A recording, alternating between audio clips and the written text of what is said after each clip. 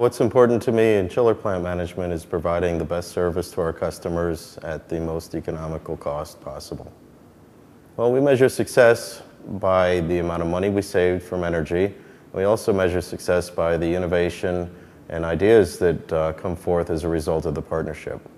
The selection criteria, first of all, was uh, to choose a firm which had people who were technically very, very knowledgeable on our operations, also a firm which was not associated with an equipment supplier, so there would be no conflict of interest when they made their recommendations to us. My expectations with our partners and vendors is that they're on board, they're fully uh, engaged, and they're part of our team. They're supporting our mission as much as we're supporting theirs. Utilivisor wowed us when they put together a program which incorporated our hourly fluctuating electrical rates uh, into our operating matrix, which allowed us to run the best equipment at the best time based on the rates from our utility.